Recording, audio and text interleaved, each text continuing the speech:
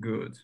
Okay, yeah, let me introduce our speaker. Today we're happy to uh, have uh, Slava Rychkov from uh, ENS and IHES uh, in Paris, and he's going to uh, tell us about uh, replicas and RG. Please, Slava, go on. Thanks, uh, Vitya. Well, it's nice to be across the ocean and uh, well, last time I actually I think I gave only one talk in Stanford, and it was a while ago. I think it was just after uh, we bootstrapped uh, for the first time the 3D Ising, and I talked about that. So, so it looks like I'm always destined to talk about the Ising model at Stanford. So today I'm going to talk about random field Ising model. So it's based on a on a couple of papers that I recently wrote with Apratim Kaviraj and Emilio Trevisani. I'm not going to quite follow the the plan of the papers, so it's going to be a bit of a motivation, if you wish, and, and introduction, and maybe it's going to um, make you interested and read those papers. And uh, I'm going to make it rather informal and um, and i'm not going to like assign credits and tell you the full story and give you all the suspense and everything so it's going to be kind of business like um, so it's uh, the, the, talk is going to be about the uh, thermodynamic uh, that is uh, finite temperature uh, phase transition in um, in a classical ferromagnetic Ising model in uh, d dimensions. And my model is going to be to have quenched disorder. So that's the, the whole point. Uh, but first, uh, let's recall what is uh, happening with the model without disorder. So without disorder, uh, we know that, uh, well, without disorder, the Ising model is defined on, uh, on some cubic lattice, say in ZD.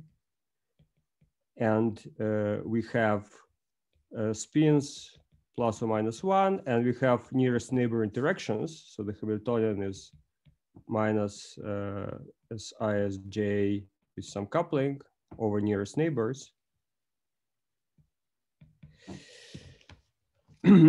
and uh, with disorder, there are two ways to introduce disorder into this picture. And I'm actually going to speak about both of them uh, in order to contrast the two. So there are, there's bond disorder.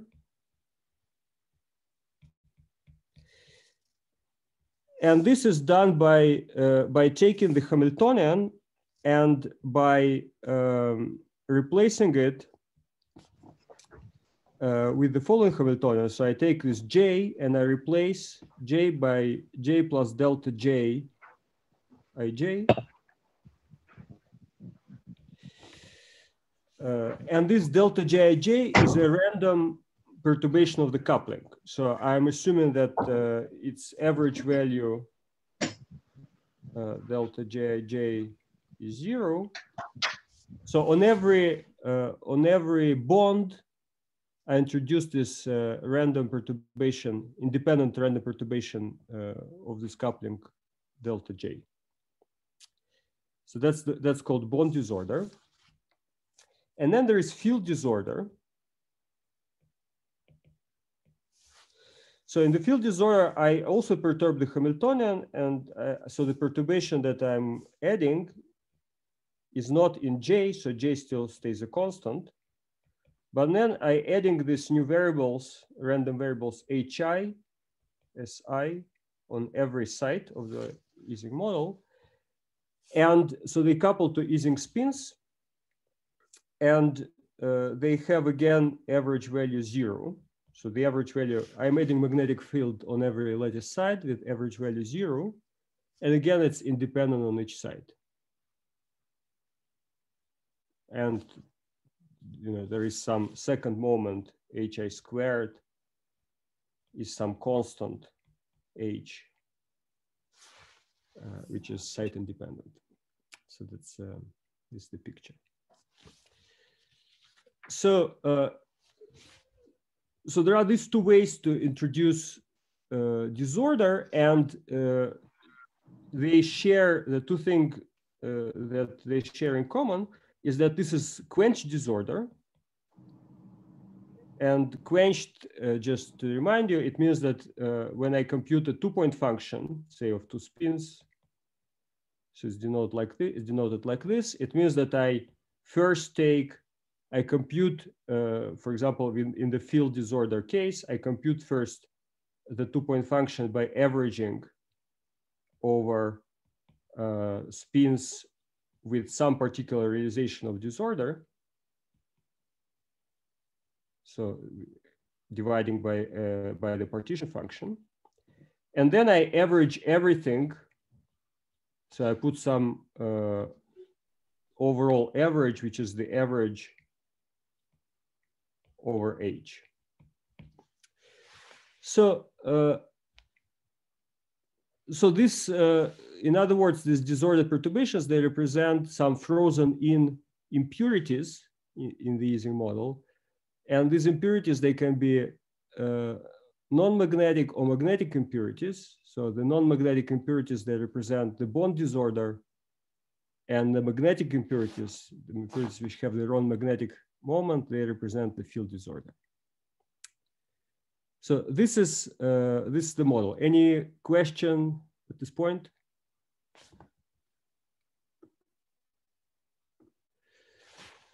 Okay, uh, so it's known that this uh, introduction of disorder in the model, it can change the universality class of the phase transition. So now I'm going to change the temperature of, of, the, of each of these models and I can, uh, I would like to find the temperature for which the model has a phase transition and I would like to discuss the universality class of this phase transition. And- Sorry, uh, uh, Slava, question. Yeah. So there in principle two parameters now. You can change the temperature and you could change the relative strength of J versus capital H. Yeah, yeah, let, let me fix J, let me fix capital H, and let me just vary the temperature. Okay, and there is no interesting behavior in that ratio, big J over uh, big H well, in this case, there's not too much interesting behavior. Like if I change, if I pick H too large, mm-hmm. then uh, then uh, the model is not going to have any interesting phase transition. But if H is not too large with respect okay. to J, then uh, universality class is not going to depend on how large it is. Okay, thanks. Yeah. So, okay, so this is the, I would like to understand uh, these three cases and I would like to understand what's different about them. And I'm not, uh, so I introduced these microscopic models, but uh, from this moment on, I'm going to use the language of field theory because I'm interested uh, near the phase transition, I'm going to use the language of field theory. So in the case of uh, without, in the case without disorder, then the field theory of interest is uh, phi to the fourth model. So, so the Lagrangian is uh, d phi squared plus v of phi, and uh, v is some mass term plus lambda phi to the fourth. And I'm supposed to tune this mass term to put the model at the critical point, tune to the transition. Now, uh, when I add disorder in field theory language, it means that I'm going to take this field theory and I'm going to add to it a perturbation.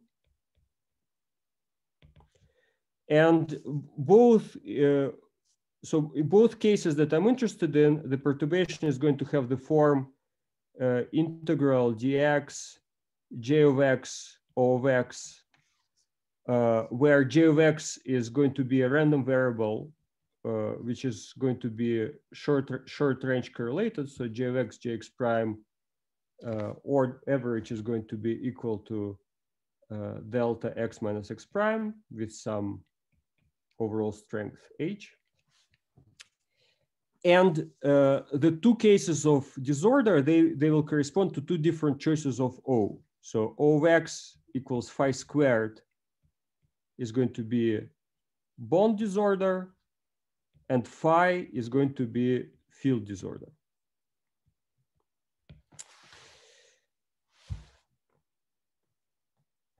So, um, so this is the this is what I would like to study. And uh, the standard way to study uh, disordered phase transition in field theory, but also in uh, also in lattice microscopic lattice models, is uh, is the method of replicas. And I'm also going to use the method of replicas today. And I'm um, I'm not going to discuss uh, much subtleties related to the use of the method of replicas. I can discuss it in the end if people are interested in. Uh, but uh, in, in this case, it is believed that subtleties of these problems, they lie not so much in, in, the, in the replica symmetry breaking or stuff like that, but in different things. But if people are interested, I can comment in the end. So in the method of replicas, hello? Yeah, so sorry, can I ask a question? Yeah. Uh, yeah, so in the Ising model, uh, is the uh, is the magnetic field along the z direction or the x direction? Well, I'm using the I'm using the statistical physics classical Ising model, so it's not a it's not a quantum first transition; it's a thermodynamic Oh, okay. transition. So so so s variable is just plus or minus one. There's only one direction, and along Okay, this okay, direction, I'm adding a magnetic field. Oh, okay, okay, thanks. So it's statistical physics. There's no quantum mechanics here. Okay. So uh, so in the method of replicas that I I presume people at least uh, are a little bit familiar with, and I'm not going to justify it. Uh, uh, I'm not going to repeat the justification. So the what uh, the method of replica consists in going through a few steps. So the first step is I'm taking the action of my Slava, model. sorry, could I ask a very naive question? You wrote there the two point function of the J is the it's totally local. Is this obvious that uh, the effect of the disorder in the infrared should be something which is again completely local, like it is in the UV? Like the correlations of that should be totally local. Um, well, uh, well, there are two ways to study this problem. There are there are there is one way is to uh, not to use the method of replicas, but to introduce the disorder with its disorder distribution into the problem and try to use RG for this disorder distribution. That's one way. The other way, which I'm going to use today, is to, to do the method of replicas, to integrate out the disorder. At this point, all uh, the subtleties, all the distribution of disorder and everything, it is encoded, it becomes encoded in uh, various interactions which are present between uh, the replicas of, of your replicated theory. And that's what I'm going to study. I'm going to study the evolution of this effective Lagrangian of the replicated theory. And that effective Lagrangian is going to be studied using the usual techniques of, of the local quantum field theory. So there's going to be some are going to be some fixed points, there are going to be some perturbations of fixed points, and everything is going to be local as usual in field theory.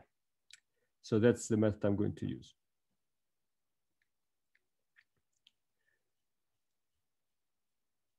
So I'm not sure I answered your question, but uh, I'm uh, on the one, I'm, I'm kind of circumventing this question if you wish.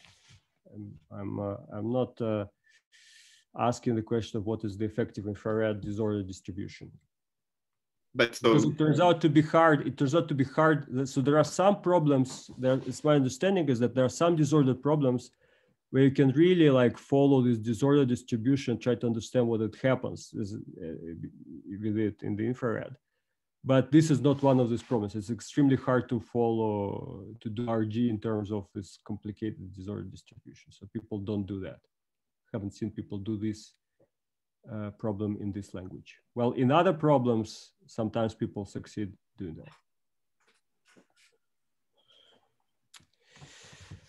that.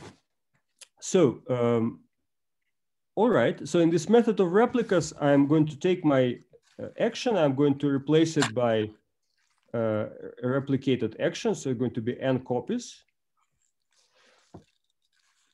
And uh, in particular, so these n copies are going to have the form uh, sum d phi i squared plus v of phi i, summed from one to n.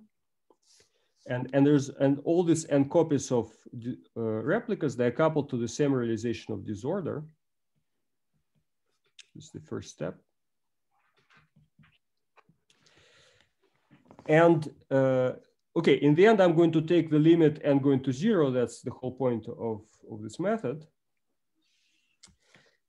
Uh, in the second step, I'm, I'm going to integrate out the disorder, and now I'm going to make an additional assumption, which is not the assumption I made uh, so far, is that the disorder distribution is not only local, but it's also Gaussian. So I'm going to take the disorder distribution is really uh, something like that. So that's, uh, uh, the, the, this is a,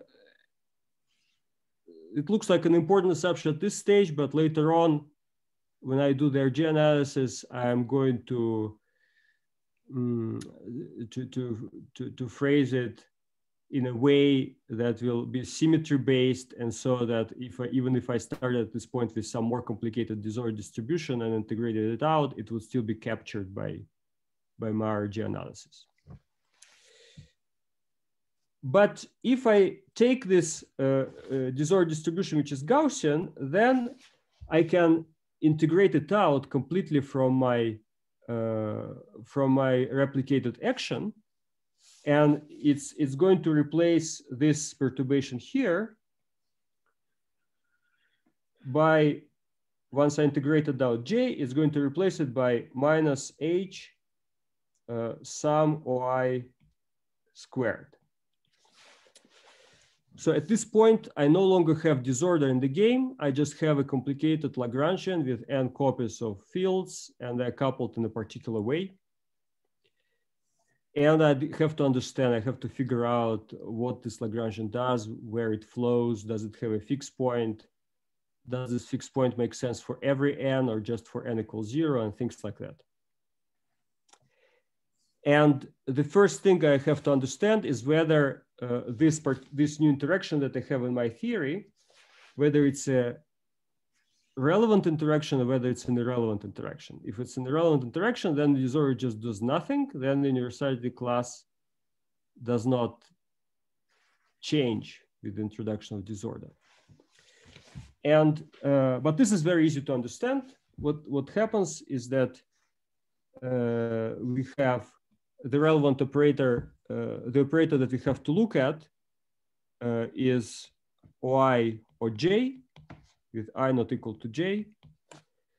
And uh, this operator has dimension since the, so I'm considering this a perturbation around decoupled replicas. So the dimension of this operator is just twice the dimension of O. So I, I, I get the conclusion that the disorder is relevant if, if delta O is less than D over two. So this is disorder is relevant. And this is called Harris criterion.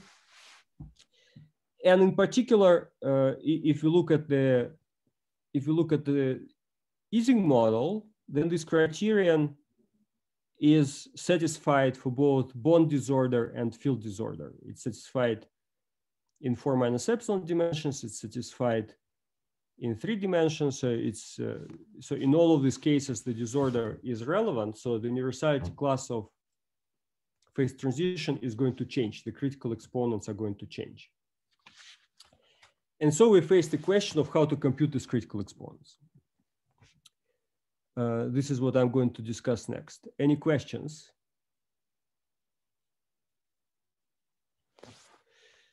All right. So uh, the the computation of critical exponents is uh, the situation is uh, a bit different for bond and field disorder. Actually, for bond disorder case, it's much easier. So in, in the bond disorder case, we have to deal with this perturbation, uh, so bond disorder, just to show you the simple case. The perturbation is, as I said, minus h uh, some, well, let me write it without sum, just uh, phi 1 squared plus dot dot dot plus phi n squared squared. That's my perturbation. And uh, from the symmetry point of view, if you have n copies of, uh, of the theory, uh, this perturbation preserves, uh, from the symmetry point of view, it preserves symmetry Sn semi-direct uh, Z 2 to the n because I can basically do independent uh, sign flips. Phi i goes to minus phi i. They're all preserved. So it's called cubic symmetry. Uh, but the simplicity of this case is uh, based on the fact that this perturbation is it's a quartic perturbation and so it's weakly relevant in d equal 4 minus epsilon. So, uh, so basically, just like in the usual Ising model, we can set up the epsilon expansion and we can do perturbations in epsilon if you want to do, and we can kind of connect universality classes uh, where in D, where in N, and things like that. All of this extends also to this case. So in particular, uh, in particular, upper critical dimension of this problem is four. Uh, so another thing which is interesting is that for every n, so we have a CFT which exists for every n, we can compute the critical exponents for every n, and then we can, you know, since we are interested in n equals zero case, we, we can compute them for every n. We can take the limit for n when n goes to zero, or we can compute them directly at n equals zero. I mean, it depends on what you're interested in, but you can slice it and dice it wherever you want. There's a family of CFTs, depending on that. So uh, remember these features because in the field disorder case, that I'm going to discuss next, they're not going to be true. Any more questions about bond disorder? Um, I have a very naive question. Uh, what's the sign of this interaction? Is it does it correspond to the inverted uh, quartic potential? Yeah, this H, uh, this coupling uh, is uh, is negative with respect to the with respect to the uh, coupling of each copy, which is positive, uh, this coupling which arises after integrate out disorder is always negative. But that's not necessarily a problem because the total potential is a sum of the two terms and it can still be positive definite. And it is.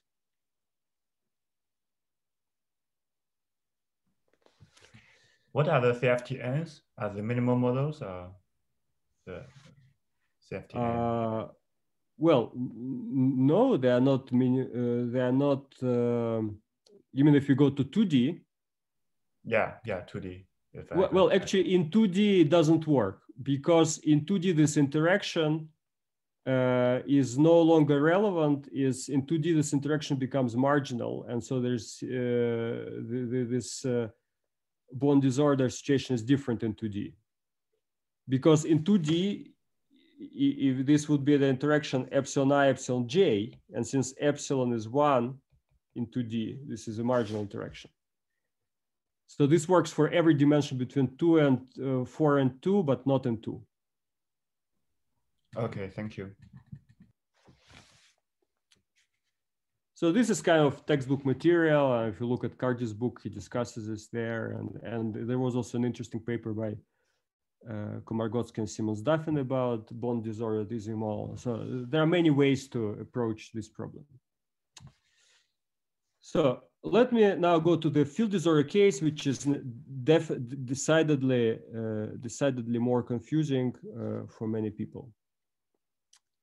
So in the in the field disorder case, the problem, so, okay, a priori it's, you know, you just do the same thing. So you get the action, which is some phi i squared plus v of phi i. And then there is this uh, kind of joint negative mass term for a sum of phi i minus h sum of phi i squared. So this is the action you have to work. So, uh, so you see that uh, the symmetry of this Lagrangian is different from the bond disorder case. So that's what makes it a different uh, situation. So in this case, the symmetry is uh, Z2 direct product Sn. So we, we do not have the possibility of independent sign flips.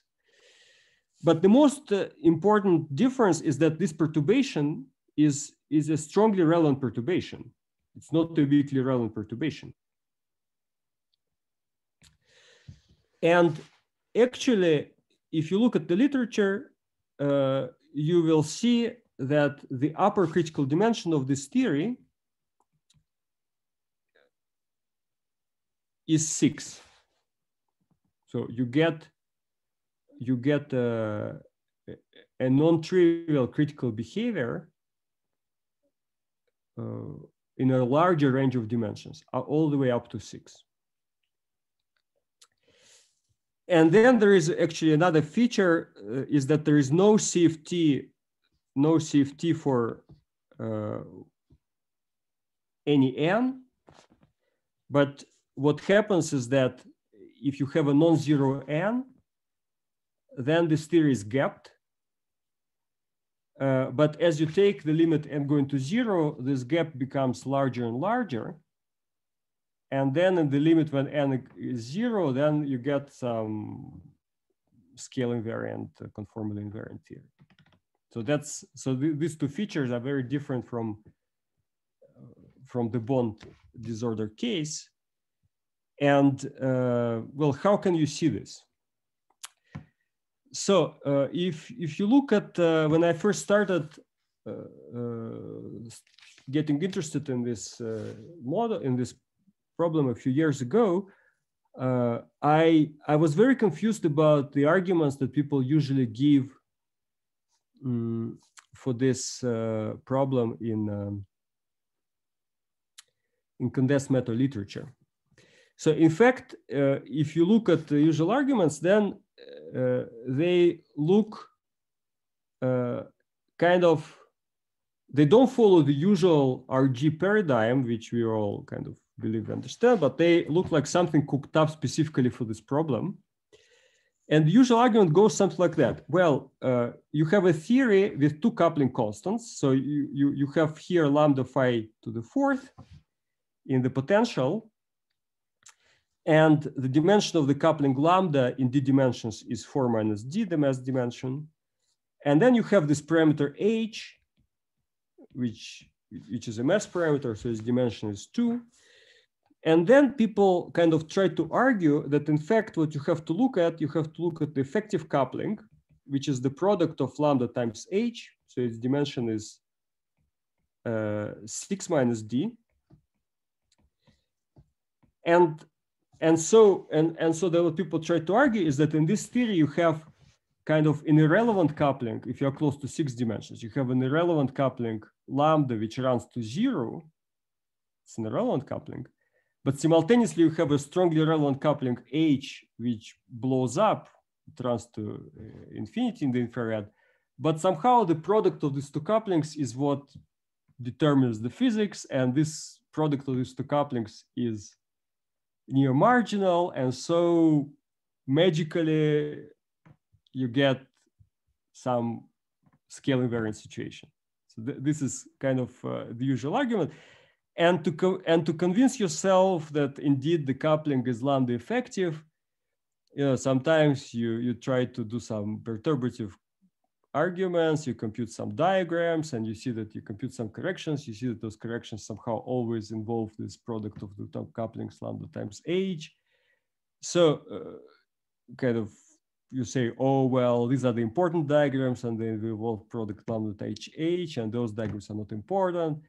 So, you know, when I first like encountered these arguments, I thought, well, I, mean, I was not satisfied by this at all. I thought, well, this is, this looks so non-Wilsonian because, uh, you know, why isn't this problem the same as what Wilson taught us that near the upper critical dimension, I just want to see a theory which would have some marginal coupling and I wouldn't have to like cook up this marginal coupling by a product of two couplings. I just want to see fields which have marginal interactions. That's what I want to see. Why is this weird in this problem? I, I, I was I was very confused. But fortunately, I, I found uh, pretty soon I found a paper uh, by John Cardy, a very nice paper by John Cardy, and that's one of the few papers that I'm going to uh, to cite in this talk. So it's a paper from 85, while ago, but somehow this paper is not at all appreciated by this uh, by by this community. I know this paper has very few citations, like a typical John Cardy's paper has hundreds of thousands of citations. This paper maybe have like 20 citations. But like all John Cardy's papers, it's a gem. And uh, so Cardy says, well, yeah, no, this problem is not any different than any other RG problem. You just have to, to do uh, a field uh, transformation on this uh, uh, on, on, on your fields. And by doing this field transformation, this linear field transformation, I'm going to give you a linear field transformation that will exhibit these marginal interactions. But there is a small price to pay. And the price that you, you're going to pay uh, is that this field transformation is going to break, or rather going to obscure, to make it non-manifest, the SN variance of this problem. So, uh, uh, so the, the, field transformation, well, I, I'm not going to try to motivate it. Uh, I'm going to give you some of these properties. It's, it's this one. So you introduce uh, fields curly phi, omega, such that the field phi 1 is phi plus omega over 2, while all the other fields phi i are given by curly phi minus omega 2 plus chi i, where chi i are the fields which sum of chi So th that's a transformation that you can try to motivate. I'm not going to try to do this, but uh, this transformation has uh, some properties uh, so when you when you do this and you apply it to this uh, replicated Lagrangian, then um, well, you can check this, but what basically happens is that, well, for example, uh, you, you, you, can, you can try to think, what, what does this transformation do to a replicated Lagrangian? First of all, this, this thing, sum of phi i that you have here, that's just going to become, uh, that's, that's just going to become uh, phi 1, which is curly phi plus omega over 2, plus, well, it's going to become uh, n minus 1 because there are n minus 1 fields phi i uh, times curly phi minus omega over 2 plus the sum of chi i's, which is 0. And so you get, uh, and so you see what you get. You get n times curly phi, and that goes to zero in the limit and goes to zero. While for omega, you get uh, you get plus uh, in the limit when n goes to zero, you get omega because this factor my, n minus one becomes minus one. So you get omega over two plus omega over two. So this factor, this sum of phi i's just becomes omega. So, so you get this uh, kind of counterintuitive factors in the limit when n goes to zero. And because of these counterintuitive factors, your Lagrangian becomes, uh, so let me write down what it becomes. It, uh, so you have uh, the kinetic term becomes d phi d omega minus h over 2 omega squared plus some d chi i squared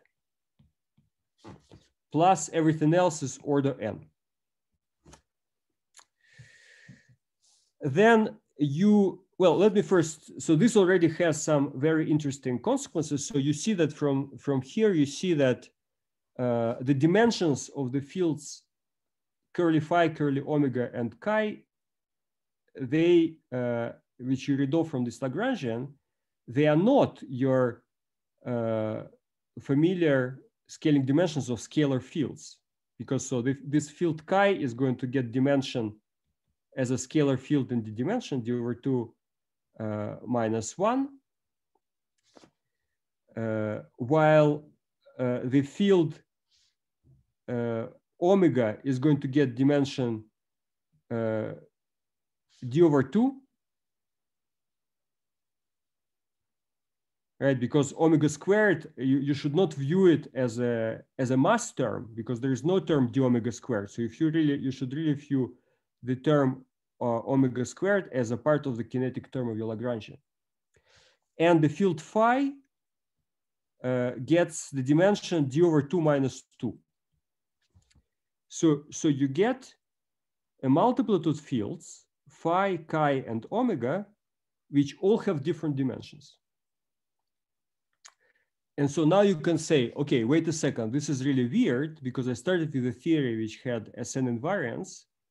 I did some uh, linear transformation of the fields and I got three fields, phi, omega, and chi, and they all have different scaling dimensions. So how can this happen? Well, there is some story uh, to tell here, but again, I'm not going to um, I can tell you a story later, but this is something that bothered me for a while, but uh, I, we found a way to, we found a mental picture which explains this. Uh, so I can tell this later if you're interested in. Uh, but first, let me finish the transformation of the Lagrangian. So if you take this Cardy transform and you imply it, apply it to the mass term, sum of phi i squared that we had in our Lagrangian, then you get, without writing uh, relative coefficients, you get omega phi plus sum of chi i squared. And if you write, if you write, uh, if you take the quartic interaction, uh, here you get uh, omega phi cube, phi cube plus phi squared sum of chi squared plus dot dot dot.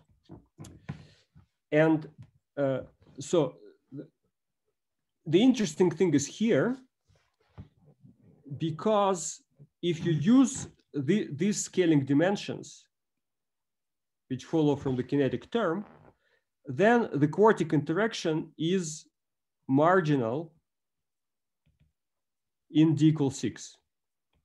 So lo and behold, we had this very confusing Lagrangian with two couplings, one irrelevant, one relevant. Uh, it was very confusing. Here, uh, John Cardy told us that, that we can just do this field transformation after transformation.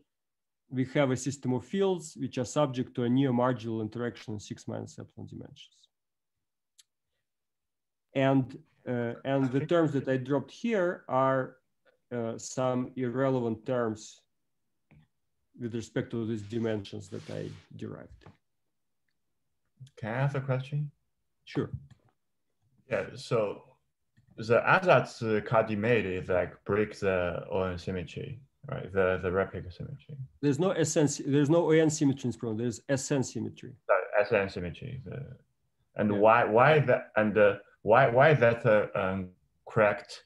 Uh, maybe the good uh, ansatz to take. Well, it's not an ansatz. Mind you, it's not an ansatz. Mind you, it's not an ansatz. It's it's a field. It's a linear transformation of fields. So as long as you don't drop any terms after doing a linear transformation of fields without due justification, you're not making any mistake. Well, but uh, No, like it- naturally, if I take the limit n goes to zero, then summing over phi i squared just gives me zero because I have nothing to sum. But uh, by this redefinition, you, you got it equal to omega, right? Naively, I just uh, have summing over phi i to the fourth, Yeah. i from one to n, take a limit of n goes to zero. I thought it means zero, but it's equal to omega. No, no, no. It will never be zero. Sum phi to the fourth is not going to be a zero operator. Whatever you do, even if you take, uh, even if you take, uh, you, you might not uh, have played uh, with replicated theories, but if you do, if you say take a correlation function of the field phi i to the fourth, sum of phi i to the fourth, computed using Wick diagrams, Yes. and take the limit n goes to zero, it's not going to go to zero. But, well, yeah, that if you like insert, you calculate correlator, so you insert something in uh, like uh, uh, in the in the path integral. But Yeah. here you're just directly manipulating the path integral itself. Yeah. Yes. In the limit of n goes to zero, I just have ratio for uh, to uh, to z's, right? Z over z. So, so uh, the, what is the meaning of this manipulation? So the meaning is this: we have. So this is very concrete. So you take when we have a replicated Lagrangian. From this replicated Lagrangian, we compute we can compute some correlation functions. So uh, these correlation functions are definitely non-zero for non-zero n. The limits of these correlation functions remain non-zero for non-zero for zero n as well. So when I do uh, a linear transformation of fields, the correlation functions of certain operators, they map to correlation functions of transformed operators. Equal correlation functions map to equal correlation functions. So the, the meaning of these transformations is very concrete. It's the transformations which is supposed to simplify expressions for correlation functions. You can think about it this way. You should, if you think that the sum of something from 1 to n goes to 0 in the limit n goes to 0, then you are missing the point of the replica method. It's not, doesn't go to 0. Well, for correlators, I, doesn't go to 0. but just uh, without any correlator, the whole path integral should be equal to one. The right? operator doesn't have the, the only thing which goes to 1 is the partition function. Yeah, the partition function. The partition function goes to, yeah. Yeah. So how do I say that this partition function goes to uh, one in the limit of n goes to zero? Maybe let me ask this way. So uh, the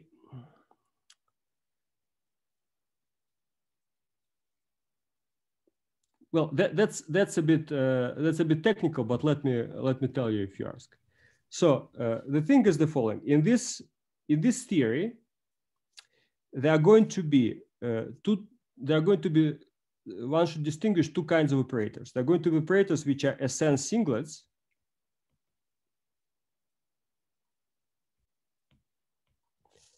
and they're going to be well for example sum of phi i to the fourth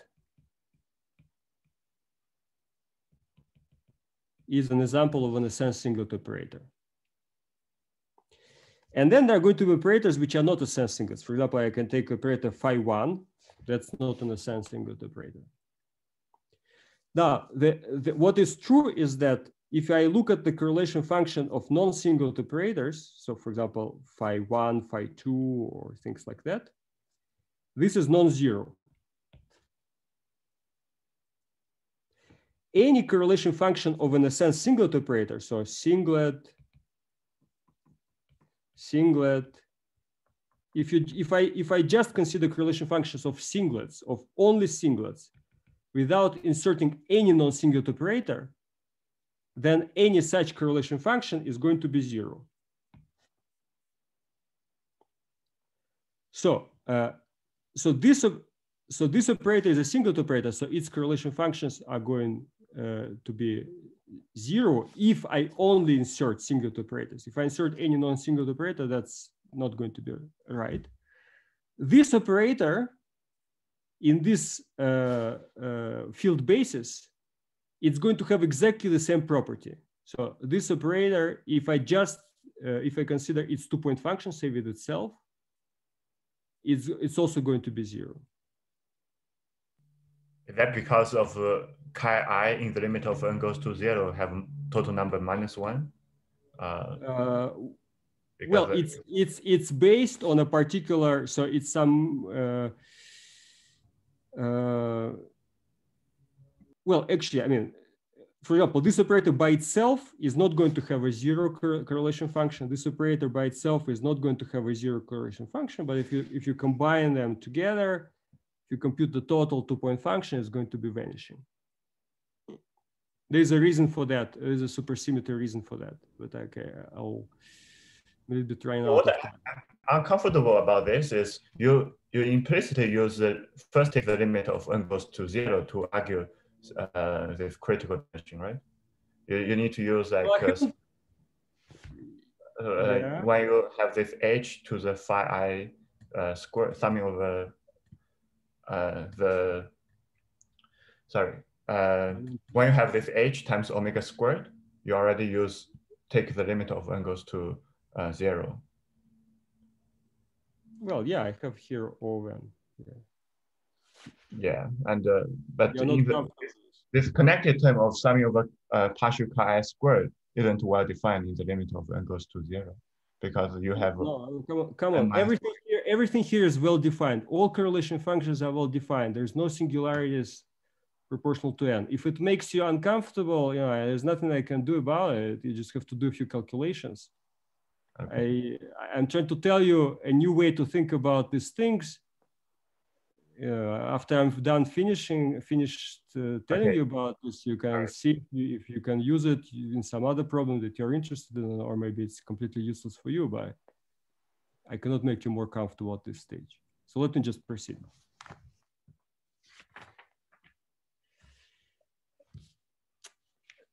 So I think uh, in, even though the first time you see it, it may look like I'm I'm doing uh, something non-conventional, that's precisely the point. It's non-conventional, but it shows that random field Ising model is not an exception. It's just like any other field theory near upper its upper critical dimension. And it's going to make me, allow me to perform some other calculations which people uh, have not been able to perform using the old formalism. So let me try to in the last 10 minutes or so get you to these calculations. But first, I, I wanted to say some words about this thing which is called Parisi-Sourlas supersymmetry.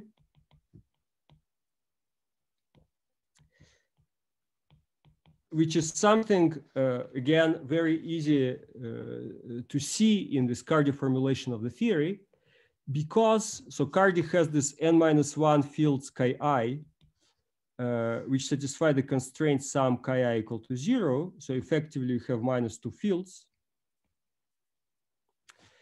And uh, you can, and they also only enter into Lagrangian at this renormalizable level that I wrote, they only enter quadratically.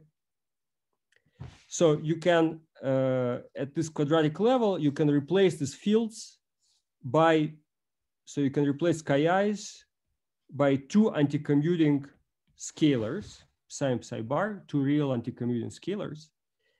And so as a result of this, you get a Lagrangian. So you get d phi d omega minus omega squared plus d psi d psi bar plus m squared omega phi plus psi psi bar plus lambda omega phi cube plus uh, phi squared psi psi bar. And so now, uh, okay, this conclusion depends on the relative coefficients that I'm not writing here, but you can introduce a superfield.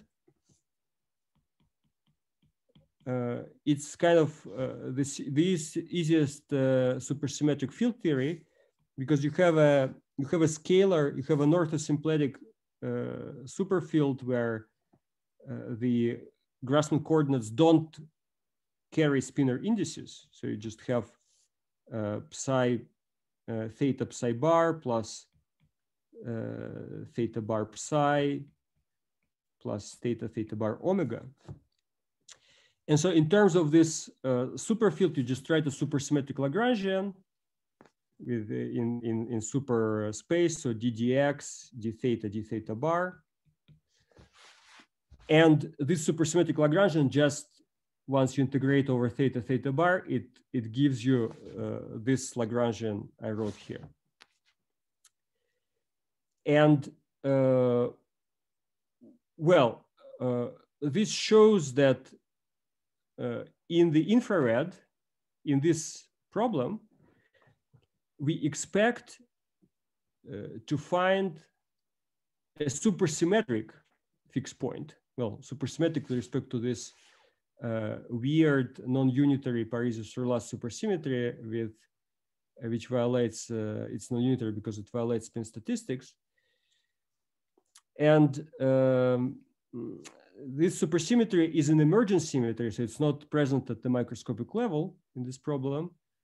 It's emergent because to get to the supersymmetric Lagrangian, I had to drop uh, some terms, like for example, these dot dot dot terms, I had to drop them here. But nevertheless, it's expected to be there. And if uh, you get, if you have the supersymmetric field theory in infrared, then there is another argument that I'm, I'm not going to review, but it's based on a sort of OSP uh, 2 slash 2 localization that this uh, supersymmetric field theory, it has uh, a subsector of observables, actually a rather large subsector of observables, in particular all uh, critical exponents, which are captured by a d minus two dimensional non-supersymmetric field theory uh, with the same potential. So it's uh, d phi squared plus v of phi with the same scalar potential I, I started with. So this is called dimensional reduction. And so uh, and so what what what does this uh, imply? Well, this suggests, for example, that this uh, random field Ising model in d dimensions, it should have the same critical exponents as the non-supersymmetric Ising model in d minus two dimensions. But uh, the truth is not quite what I just described to you. Uh, so if you look at uh, if you look at various theoretical arguments, if you look at Monte Carlo simulations, if you look at even some theorems that mathematicians have proven, you realize that what I have just described to you is a uh, is a simplification of of the real truth uh, of the real phase diagram of this model.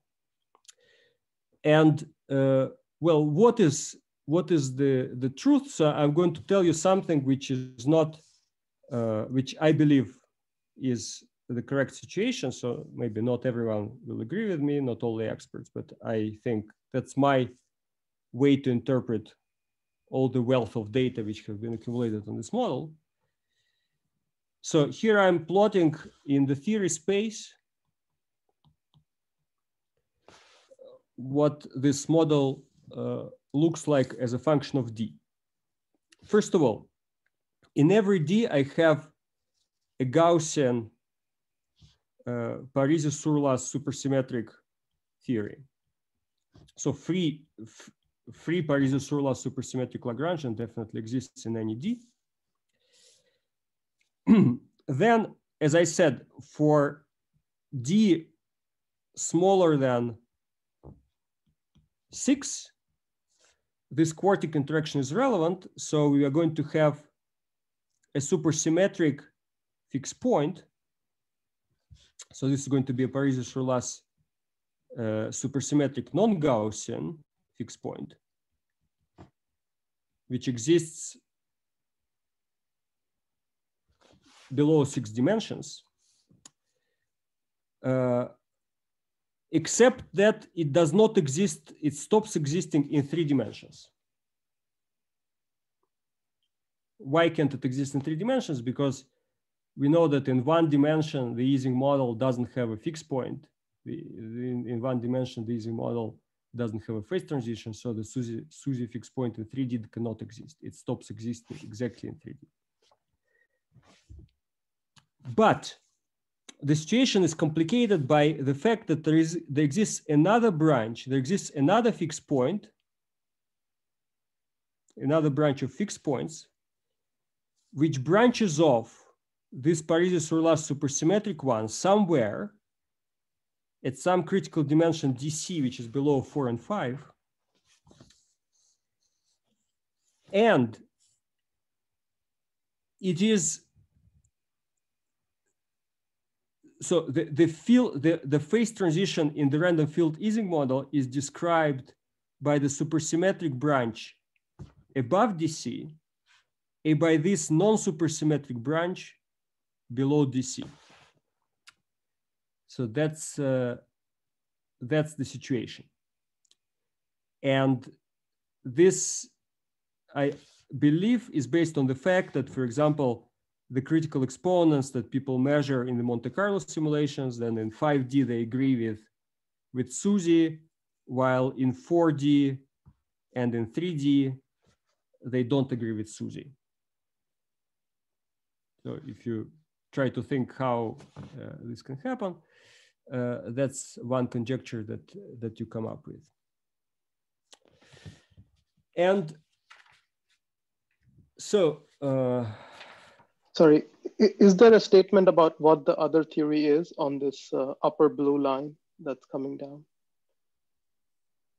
Not at this stage. What the... Not uh, not at this stage. I do not make any statement, and uh, so I at this point I I'm ready to say what is the main what was the main goal of our papers. The main goal of our papers was to understand how this Parisi-Sourlas supersymmetric fixed point non-Gaussian one, how it loses stability. Why is it that there is this critical dimension DC uh, that this fixed point loses stability? What is the new interaction that becomes relevant at this dimension DC? So this question, this uh, very natural question uh, has never been answered before our work and the, the reason why it has not been answered, in my opinion, is that because people, uh, they, uh, they, they prefer to work on, the, on this SN invariant uh, formulation, manifest as an invariant formulation, which was obscuring the, the structure of the marginal interactions. They they were never able to carry out this calculation in that basis. While in our paper, we, we did this calculation because we, we had this Cardy basis at our disposal.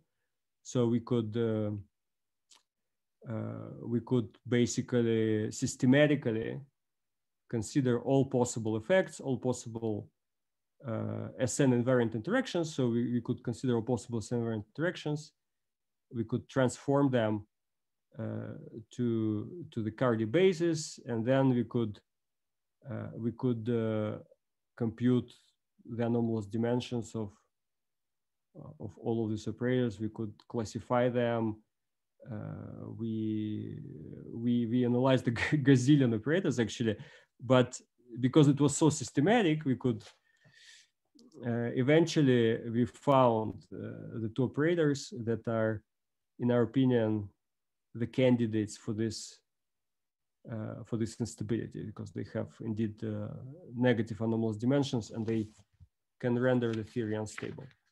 Now, uh, I'm, uh, I realize that I'm, on the one hand, I'm uh, basically at the end of my time.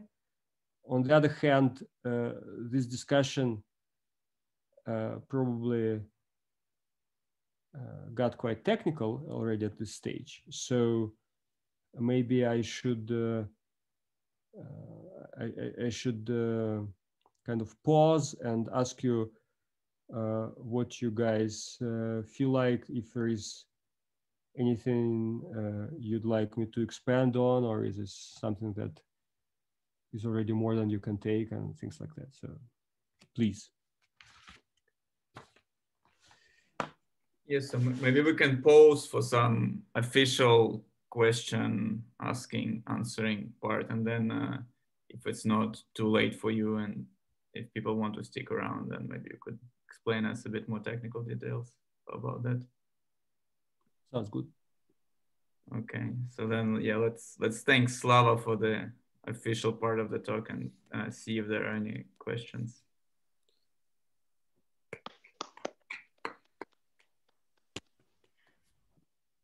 Slava. I didn't quite understand how the dimensional reduction occurs. Um, you said like there's a localization argument. Um, can you expand a little bit on that? Yeah, uh, yeah, I can. So, uh, so this localization. So, um, localization argument, in fact, is kind of an analogy. So uh, the, the, supersymmetric localization usually uh, operates in a situation where you have some uh, supersymmetry action which which makes a certain uh, manifold invariant. Maybe it's a manifold in the field space, or maybe it's a manifold in, uh, in, in, in, space time or something like that. So in this case, if you look at if you look at the subgroup OSP two slash two uh, of um, which it's a subgroup of the orthosymplectic group, which is the symmetry of the superspace. So it, it lives invariant the subspace theta equal theta bar equals zero and x perpendicular equal to zero. So yeah, so the the invariant which is uh, the manifold which is left invariant is this d-dimensional uh, subspace of your uh, of R d slash two. And and also the fields, if you, if you look at the fields of the components of the superfields, phi, x, theta, theta bar, and you, you set in the fields uh, x perpendicular theta and theta bar to zero, then those components of the superfields are also left invariant by this action.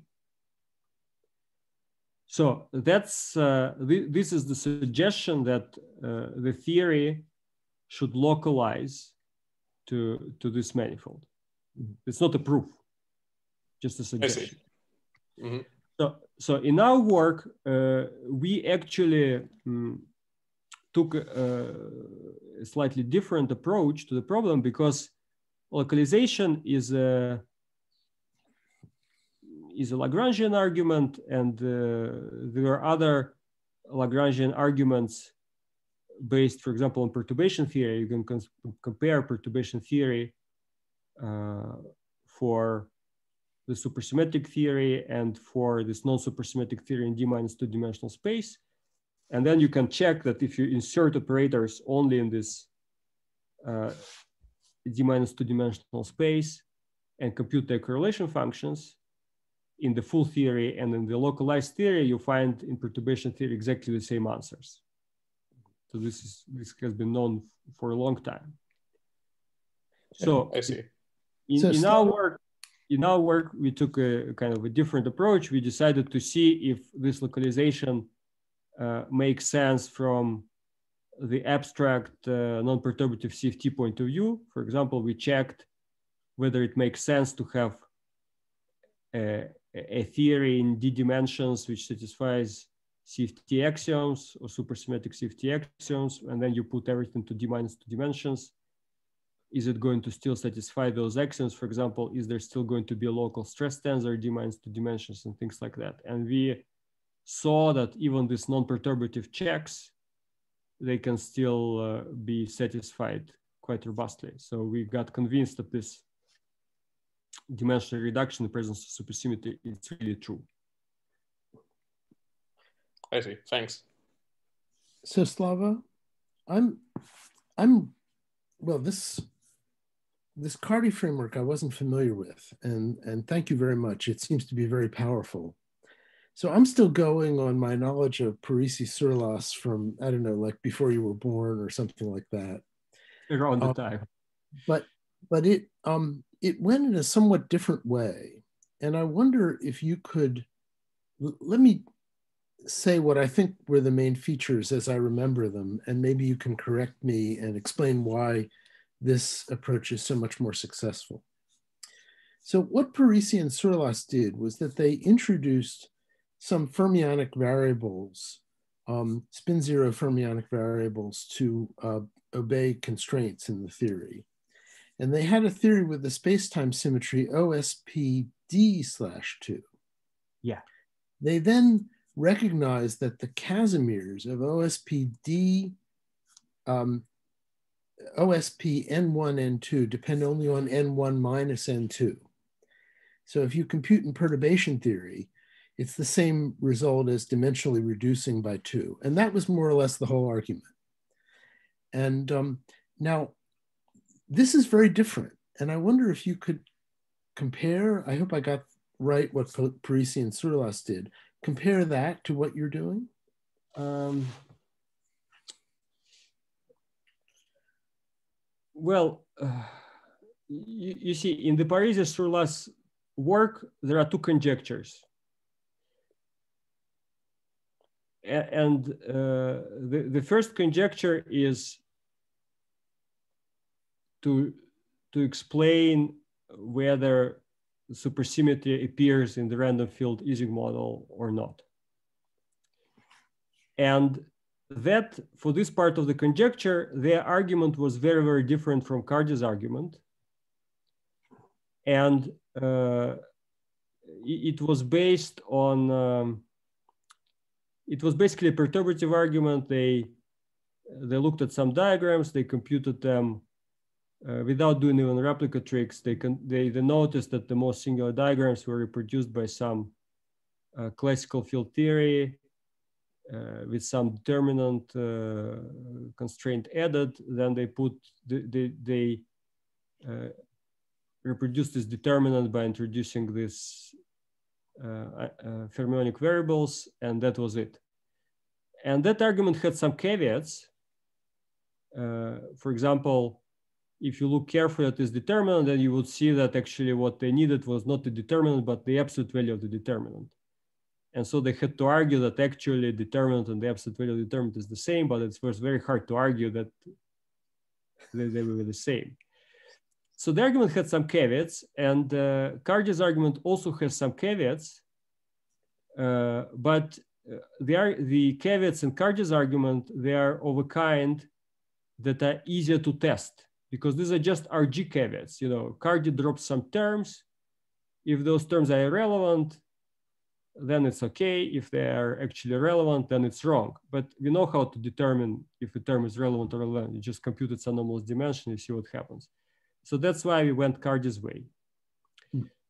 Now, the second part of Parisi Sourlas argument about how to, given a supersymmetric theory, to show that there is a dimensional reduction, uh, that was based on uh, you know, Casimirs, you mentioned Casimirs.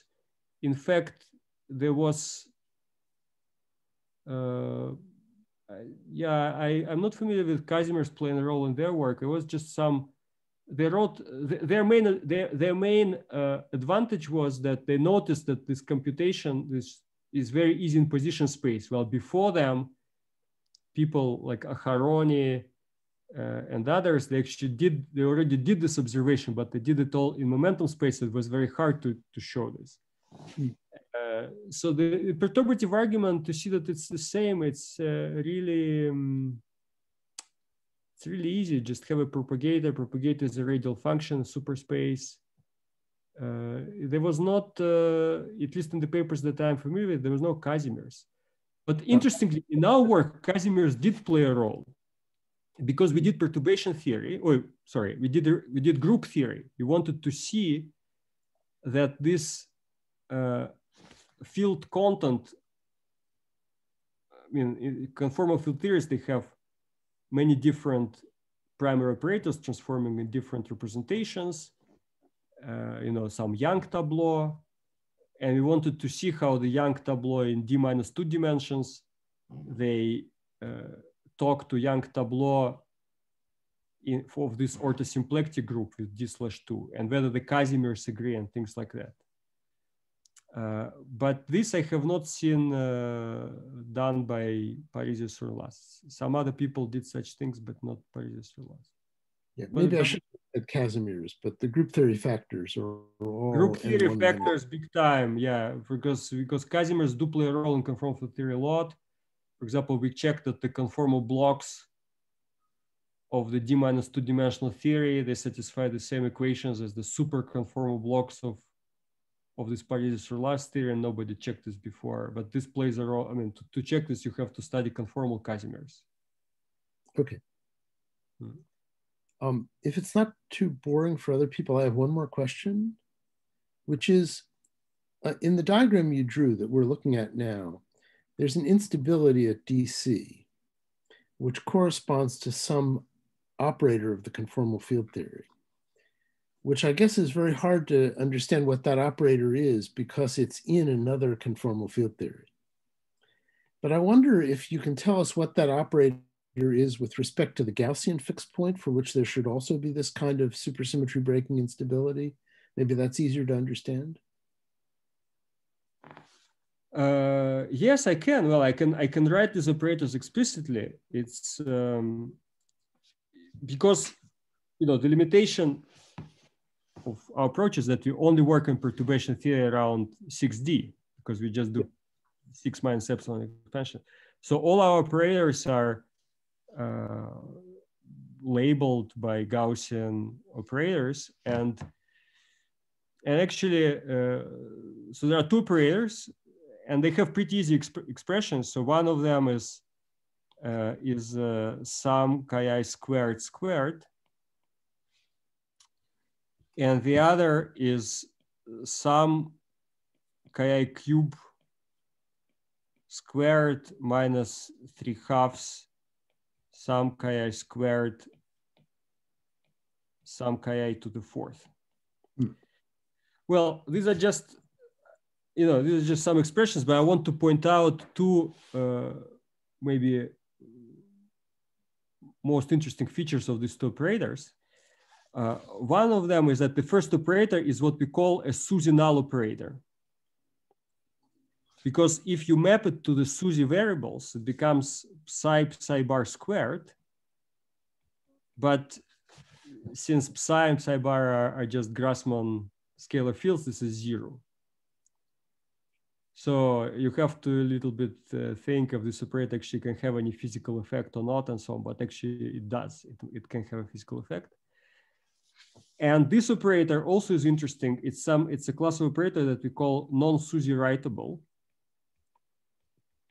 because you cannot even, uh, you cannot even uh, transform it to SUSY variables because it has these pieces like chi cube or chi to the fourth but the only things that, uh, that you can transform to SUSY variables are things which are bilinear in chi's. So, so could you actually what was what was the rule for transforming to SUSY variables? Well, at the quadratic level, you you can transform. Uh, there is a well-defined set of rules, uh, but um, basically the, the theory of chi's, the, this theory of phi omega and chi's, even though the full theory has SN invariance, this theory phi omega and chi at the renormalizable level, it has an emergent, it has actually an accidental ON minus two symmetry. And the operators that uh, that uh, preserve this ON minus two symmetry, these are the operators which are basically at most bilinear in chi's, they, they can be transformed to SUSY variables. But the operators which break this ON minus two to SN, they cannot. So these are still good operators, but uh, they cannot be transformed to variables. So you have to study them in this chi field basis. And that's, that's also a technical complication. But the way you transform to SUSY variables, you just replace any bilinear in chi's into this something quartic and fermions? Well, the, yeah, so sum of chi squared is transformed to psi psi bar, and then you can give rules also for operators with derivatives. You give it in our mm -hmm. in our paper, but only for bilinear fields. So any bilinears and products of bilinears and so on. So any operator you can calculate its uh, dimension in the chi basis, and then it some of them have analogs in the SUSY basis that allow you to understand you're doing it correctly, but in the chi basis you can see the instabilities. Yeah, so so chi chi basis is the most general one. For some operators, you can do the calculation in both bases, and the operators for which you can do the calculation also in the SUSY basis, uh, those are very nice because you actually don't even have to do this calculation because you can take advantage of the of the dimensional reduction and you can just compute the dimension of those operators in in a d minus two dimensional theory, which is a much easier theory. But you can compute in three theories basically and see that it's the same result. Oh, very cool. Okay. Yeah, this is pretty cool. But, but, to see the instabilities, you have to go out of the SUSY basis. The, these operators yeah. somehow don't exist in that basis. Yeah, because in fact, uh, there are also SUSY writable operators that you have to look at. Mm -hmm. But uh, most of them are pretty are pretty benign because you can kind of convince yourself that they cannot do anything uh, bad, they are irrelevant. There are some potentially uh, some potentially dangerous SUSY-writable operators, but we checked them and they don't. Uh, they, they have a mildly negative normalization, but they don't become they don't seem to become relevant. Well, these guys really they have big negative anomalous dimensions, so they they really go down and they they cross relevance threshold between four and five. So they it look like it looks like those up the operators. Well, this is incredibly cool. So let me cede the floor to uh, pe other people who have questions.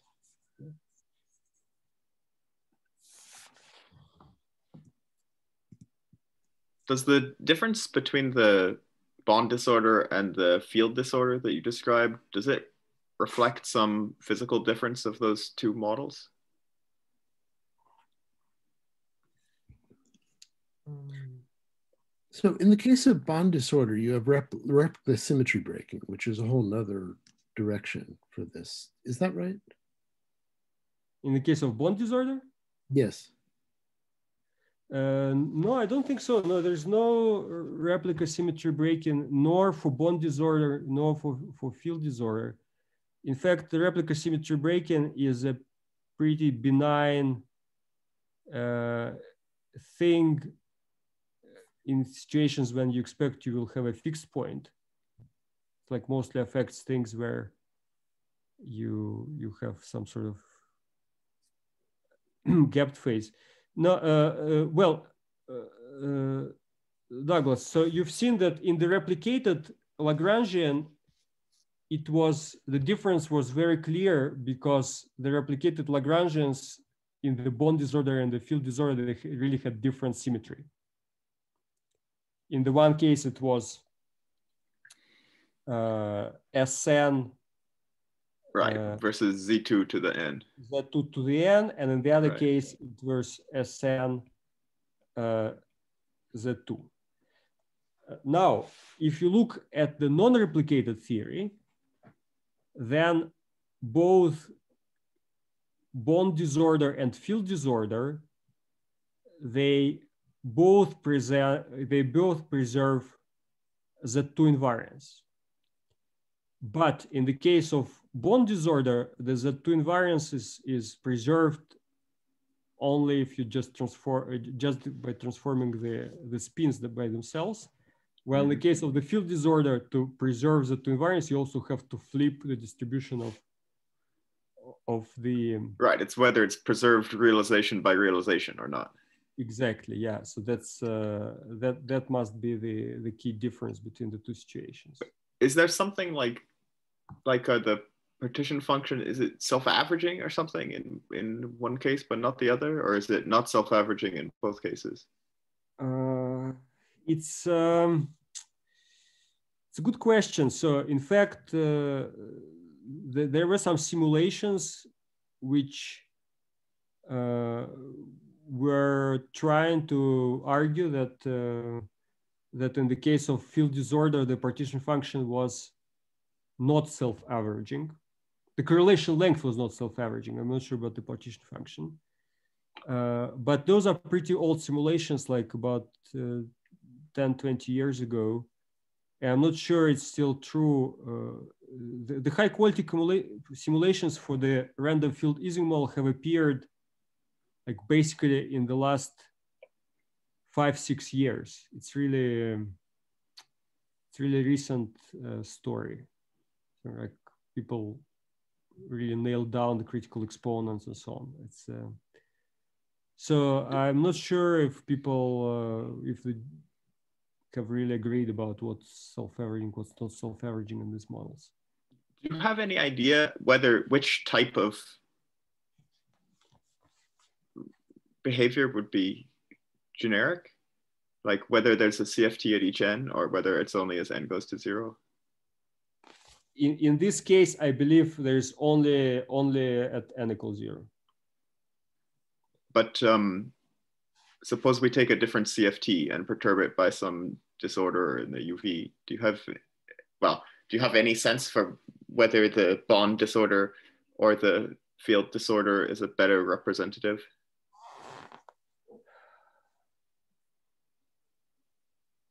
Mm, I'm not sure. No, I. uh, No, it's hard to say. Are we discussing the symmetry in particular or also the dimension of the operator that we perturb by? I was just wondering whether we should expect to have a CFT for each value of n or whether only as n goes to zero, like in the field disorder case. Good question, but I, I don't have a ready-made answer. But so could you remind like in your language, how do you see that there is no CFT for n not equal to zero? Uh, because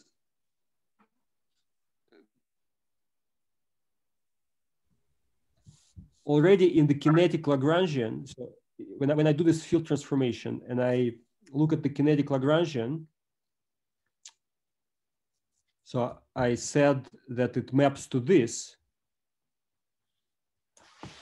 but it maps to this more plus some very uh, some very strongly relevant uh, corrections like there's d phi squared, for example, with a coefficient which is order n.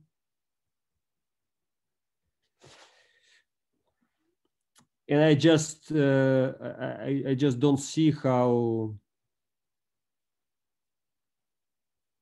so so there is this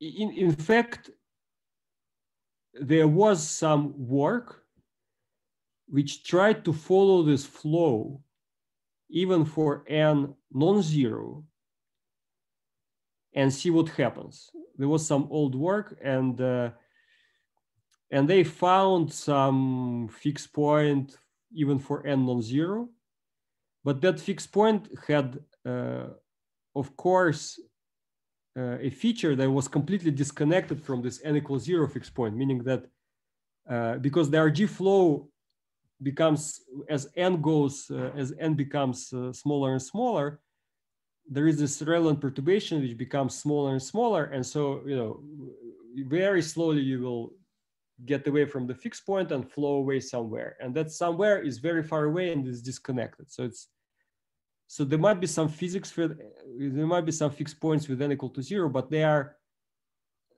they are completely disconnected from this interesting n equals zero fixed point. Like if you computed critical exponents there and try to continue them analytically and to n equals zero, I think this just doesn't make any sense. Unlike in the bond disorder case. So there is nothing so in, in the UV that you can tune to just set this operator to zero. I mean, having a relevant operator doesn't necessarily remove a CFT, right? It's it it says that well, if it is there, it would be unstable. But but the claim is that there is really there is nothing you can tune to to set this d square thing to zero. No, this you definitely cannot tune because the relative coefficients of these operators they are fixed by SN symmetry, and mm -hmm. just the SN symmetry then not equal to zero it tells you that this operator is there. So. Mm -hmm. So I concluded that this uh, that that's just yeah. unless you break replica symmetry, right? Then you can tune separate. But yeah, I do not know what that would mean.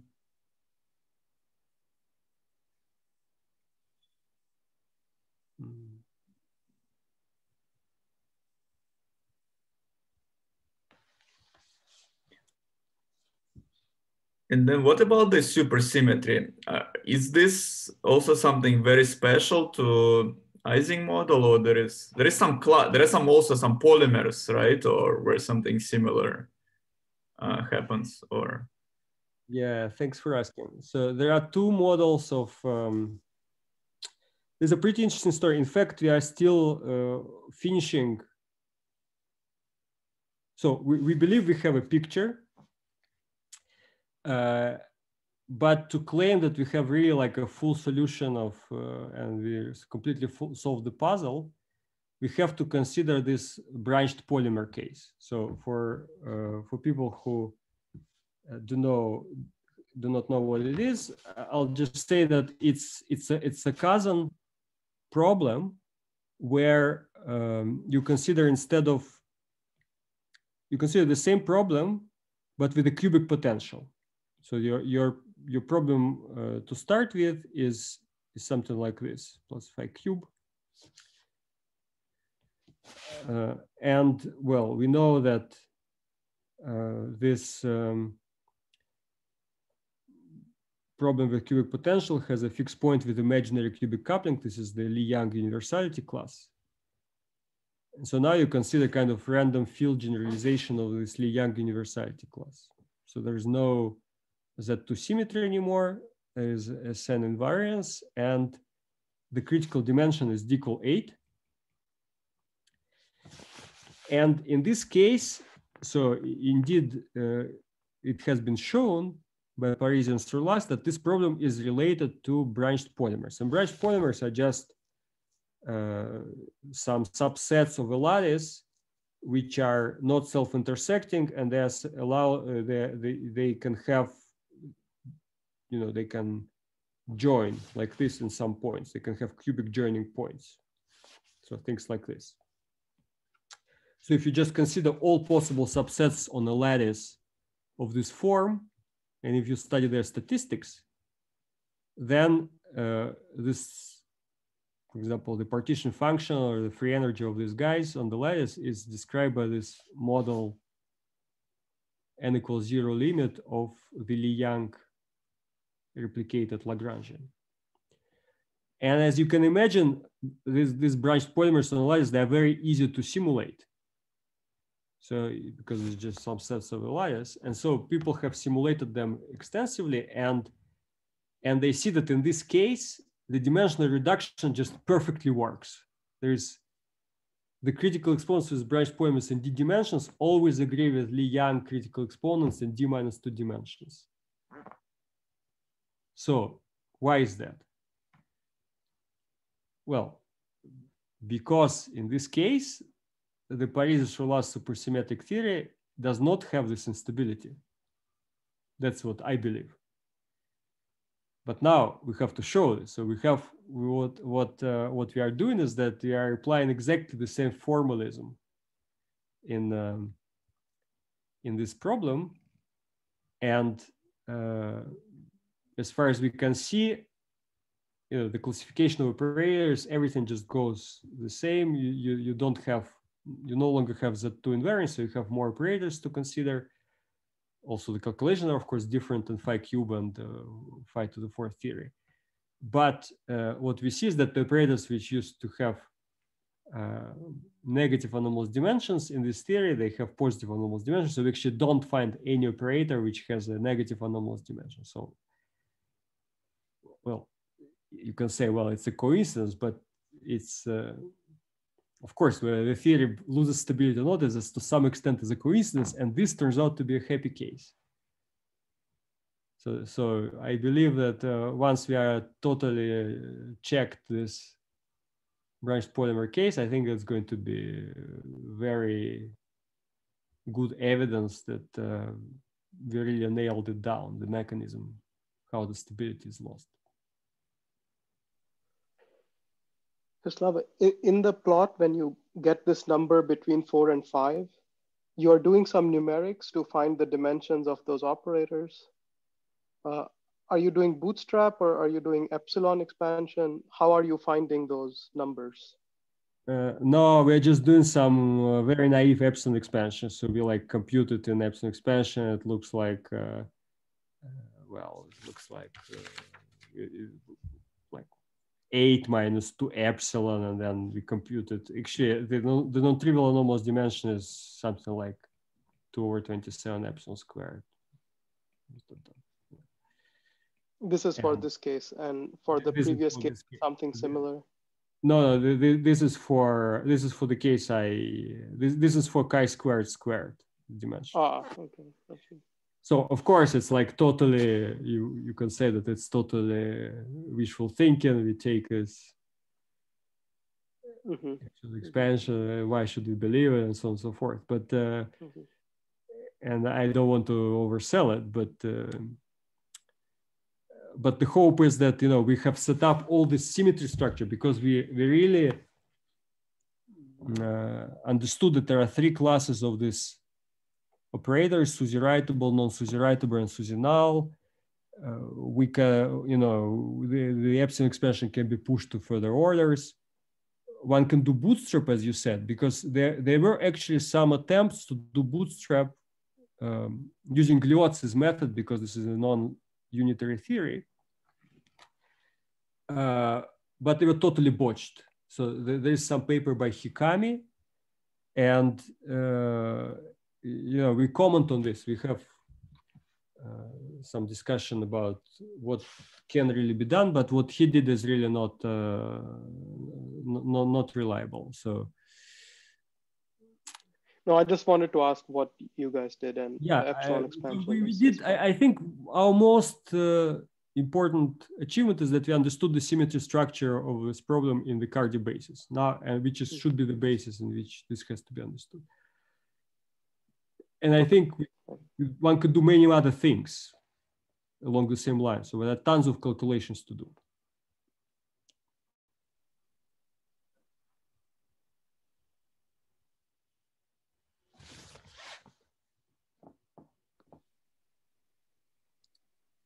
Slava, I have another question about the localization computation that you mentioned. Um, so you you, uh, you essentially said that the local, localizing fixed point is given by this d minus two dimensional field theory, right?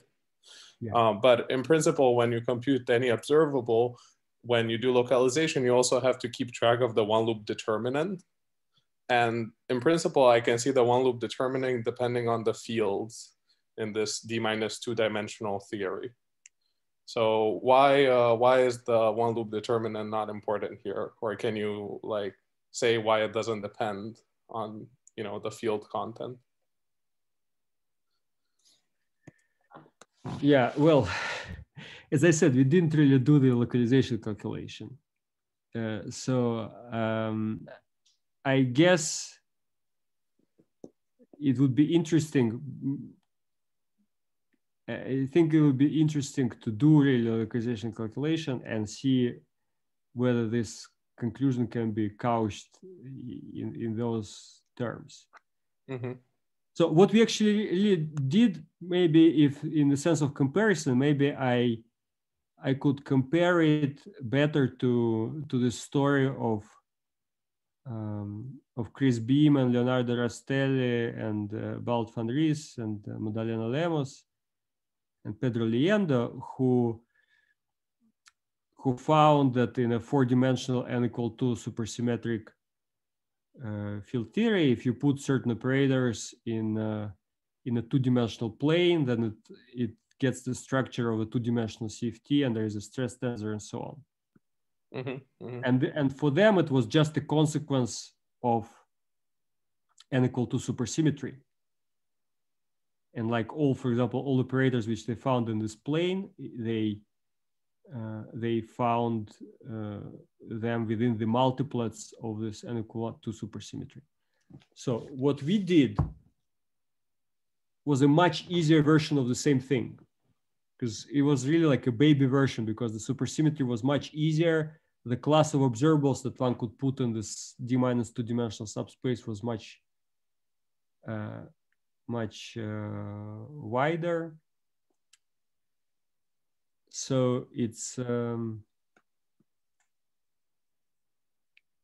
so it's um, it was much easier. So given if since there's so much interest in this localization, I I cannot uh, resist to mention uh, an open problem in this respect and and to connect to another problem in physics where supersymmetry plays a role which is the problem of to go in the opposite direction. So I told you that given the Parisi-Sourlas theory, Parisi-Sourlas supersymmetric CFT, you can get always a CFT in D minus two dimensions. But going the other way around, given a CFT in D dimensions, can you always find a Parisi-Sourlas supersymmetric CFT in D plus two dimensions? Of course, if the mm-hmm. CFT is Lagrangian, you can try to do this by setting up an RG flow. If your CFT is given in terms of some CFT data, this is not obvious because in fact, there are some representations in D dimensions they, which map to zero when you go to D minus two dimensions. There are some representations which decouple. So if you want to construct this high dimensional Parisi-Sourlas supersymmetric CFT, you'll have to somehow uh, come up with what those um, representations do.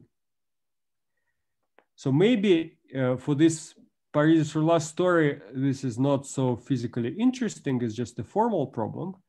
But there is one problem in physics where, where this is extremely interesting. and this uh, problem is um, something called dynamical critical phenomena.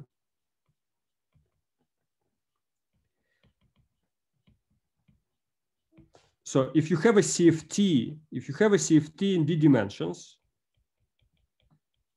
which for example describes some critical point, uh, we can uh, study approach to equilibrium of this critical point by considering critical dynamics. And there are various models depending on how you relax to the like model A, model B, some models which preserves it to invariance, others not. So those, so you add some time.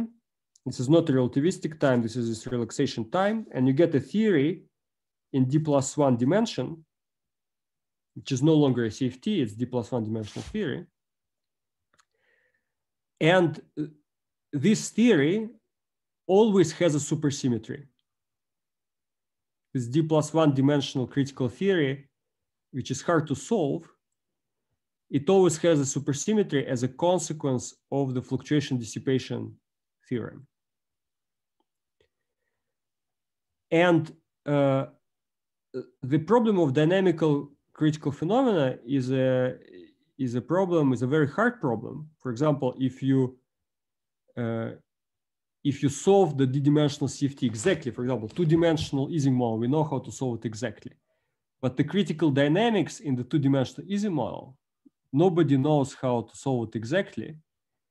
and nobody knows how to use the exact solution of two-dimensional Ising model to say anything about the critical Ising model, or about dynamical criticality in the Ising model. So if you want to solve dynamical criticality in the model, you just have to start from scratch, like epsilon expansion, just do everything in d plus one dimensions, the same ugly stuff. You'll get some critical exponents, dynamical critical exponents, but this just work from how can we use this knowledge about uh, exact solution of 2D CFT to learn something about D plus one dimensional criticality. It's an open problem and perhaps this supersymmetry can play a role in it. Sorry, Slava, is this, is this the same supersymmetry that uh, appeared in this recent studies of hydrodynamics, like I think it's very much related. Yeah. But but there there is well, some, I'm not an expert, but somehow there is some point of view that there the supersymmetry is some sort of red herring that uh, everything just follows from KMS uh, symmetry and somehow you don't you don't Uh, really at least you don't need to introduce any any of those uh, ghost fields. Well, maybe there it's, I don't know, maybe since their theory is not, it depends whether the theory is strongly coupled or weakly coupled. The theory is weakly coupled. You always have more tools at your disposal, but this theory is strongly coupled. So I think it's supersymmetry that you have it. It's not a red herring. It's something, if you want to approach the problem axiomatically and gain some insight from the strong coupling point of view, I, I think it should play a role. What is the standard reference for this supersymmetry in this dynamical critical phenomenon? There is any. Well, in, in our first paper, i- i- we, we have two papers with Apratim and Emilio. In our first paper, we have an appendix where mm-hmm. we review it, Okay, and there we give reference. Mm, thanks.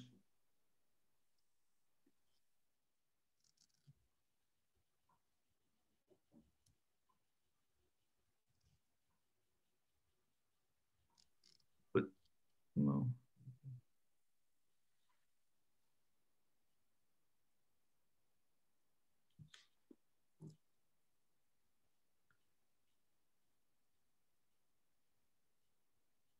So there is some similarity, right? At at the level of some weakly coupled Lagrangian between this uh, between disorder and this dynamical critical phenomena, right? Because one description of this dynamical critical phenomena is also you have some random fields which give some dissipation for you and provides relaxation, right? So do you think that this Parisi-Sourlas type supersymmetry is always related to to presence of either dissipation or some quench disorder? Is there some understanding why why one follows from the other, or that some coincidences? There is uh, there is some understanding. So, in fact, um, the, the difference between there's a similarity and there's a difference. So you can phrase this dynamical critical phenomena in terms of some stochastic differential equations with some noise. Mhm. These stochastic differential equations are first order differential equations in case of dynamical critical phenomena. So uh, if you do the same for the Parisi-Sourlas, you get uh, you get a you, you you get some sort of second order Э, stochastic differential equations, and they're even like even elliptic, so they're not even they're not even evolution equations. They're sort of kind of elliptic stochastic equations of the form Laplace f equals plus f cube equals some noise. So, so they they're not they do not obviously have solutions. And or maybe they do not have sometimes unique solutions. So uh, so one of the ways to derive this Parisi-Sourlas supersymmetry in perturbation theory is to work in perturbation theory and just focus on one solution of these equations that you get close to f equals zero. And so this way of justifying it has some caveats. And that's why the Parisi's, that's why it's basically very hard to make progress in the stochastic differential approach to Parisi's supersymmetry. If it's wrong, then you don't know what to do. If it works, then, then you're fine. In the case of dynamical critical phenomena, these caveats do not really apply because the equations are always first order. They always have solutions. They're always evolution equations. So that supersymmetry really doesn't need any RG justification. It's, it's manifestly present. It's, it's really manifestly realized.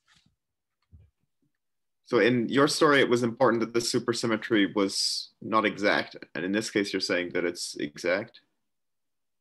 Yeah, in this case, it's uh, manifest. Exactly. Yeah, I would say it's exact.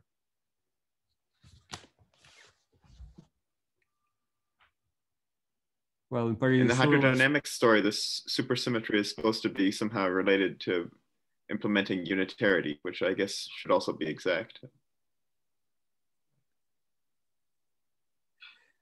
No idea if that's related to the reason for the supersymmetry in this case. You said fluctuation dissipation. I, I don't know.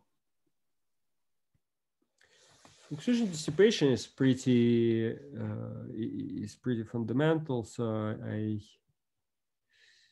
uh, I think in quantum mechanical context, it's probably also related to unitarity. Mm, yeah, I, I, am I'm, I'm fascinated by this relation. This is uh, I'm really like shocked that the exact solution of 2D Ising cannot be recycled to learn something about dynamical critical phenomena in 2D Ising. It looks like a gap, a big gap in our understanding of critical phenomena. And this this theory that describes the dynamics of 2D Ising is some 3D non-relativistic theory, right? It, it's yeah, it's a 3D non-relativistic theory which has a supersymmetry and which reduces to 2D Ising if you put all fields at the same time, at a fixed time. Mm -hmm.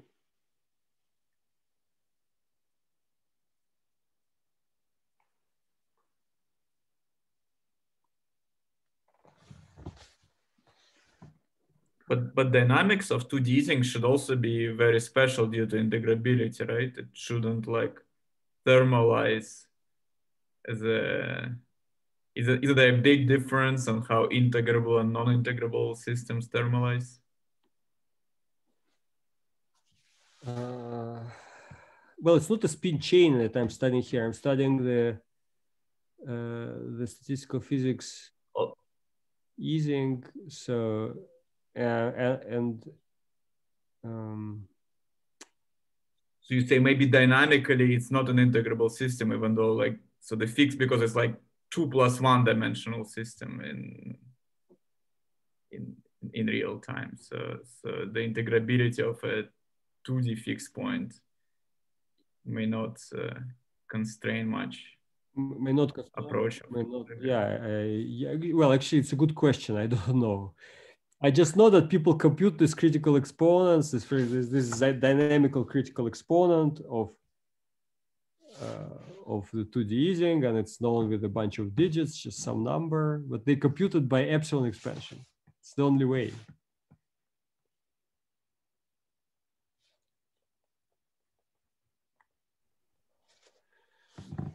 By simulations.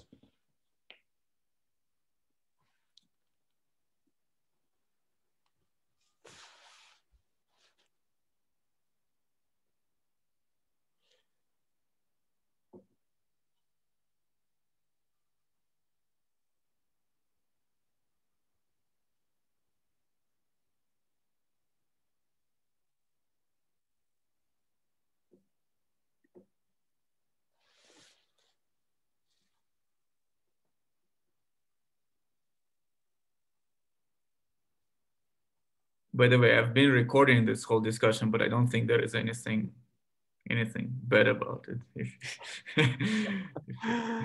Just a bunch of theorists. I doubt anybody will watch up to this point. But, uh, if you if you want me to cut some part of it, let me know. I'm not working on. By the I'm, way, not, I'm not working on on uh, on uh, anything that I was advertising to you guys. I'm very happy to share this uh, frustration that some things that should be solved have not been solved. Mhm. You have any ideas? do you mind also sending us this the notes Yeah, from the talk? yeah, yeah. I hope it worked fine. It was uh, really didn't know how it would work without any anything written beforehand, but it seems to have worked. Yeah. I thought it was great. Yeah, thanks very much for the talk. Ah, thanks. It's a pleasure. Yeah, thanks, Slava. Thank you. Anybody have questions? Okay, yeah, then I guess we should let Slava go. Here's everyone. Yeah, thanks a lot for the talk. Yeah, Take care. Bye. thanks, Slava. Good night.